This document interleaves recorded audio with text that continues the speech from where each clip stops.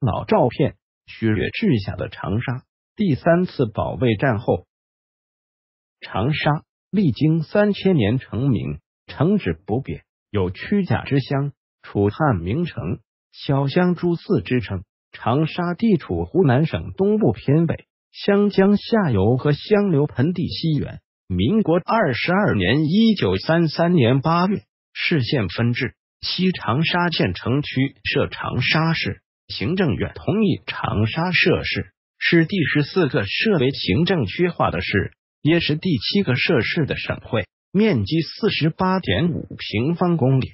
一九四一年十二月七日，日本海军奇袭美国珍珠港，同一天，日陆军二十三军开始进攻香港。为使攻占香港顺利进行，日军大本营命令驻湖南地区的十一军向湘南进攻，以牵制中国军队南援行动。十一军司令官安南惟己接受命令后，于十二月十三日发布了第三次进攻长沙的命令。薛岳当时指挥的军队共十三个军，约十七万人。一九四一年十二月二十三日。日军强渡新墙河，会战开始。中国在歼两次长沙会战的基础上总结经验，展开防御作战。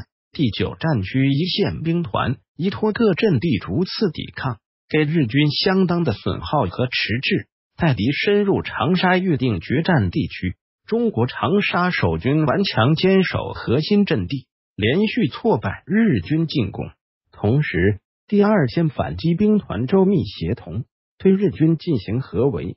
日军见势不妙，立即展开退却。我军合围部队立即转为向敌阻击、截击、尾击作战，穷追不舍，在多处与敌重大打击，扩大战果。敌狼狈逃窜。至一九四二年一月十五日，日军退过新墙河，恢复战前态势。中国军队掌握了战役主动权，获得长沙数次会战以来首次全面胜利。此役日军遭重创。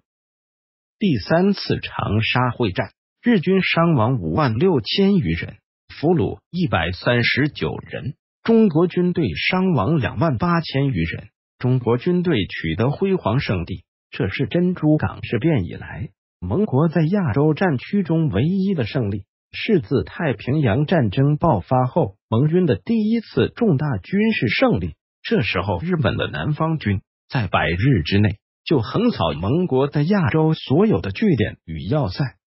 西方国家积极宣传此战胜利。美国记者福尔门士在报道中说：“中国第三次长沙大捷证明了两个原则，那就是中国军队的配备若能与日军相等。”他们即可很轻易的击败日军。英国《泰晤士报》说，十二月七日以来，同盟军唯一决定性之胜利，谢华军之长沙大捷。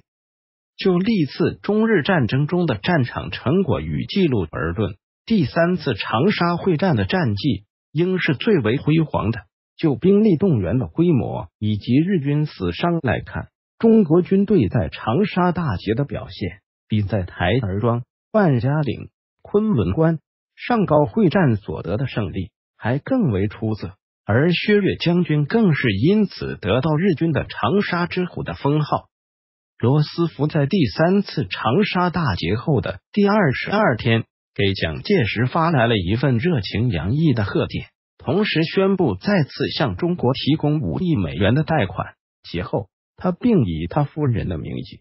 邀请蒋介石夫人宋美龄访问美国，他还通过中国战区参谋长史迪威授予第九战区司令长官、第三次长沙会战的具体组织者、指挥者薛岳一枚美国勋章。第三次长沙会战胜利后不久，美英政府便主动向中国提出要废除西方列强与中国历届政府签订的一系列不平等条约。归还上海、厦门等地的公共租界，取消领事裁判权。应该说，这是整个中华民族同仇敌忾、共御外侮，经过长期不懈的艰苦努力才换来的。长沙，一九四二年。摄影资料：哈里森·福尔曼。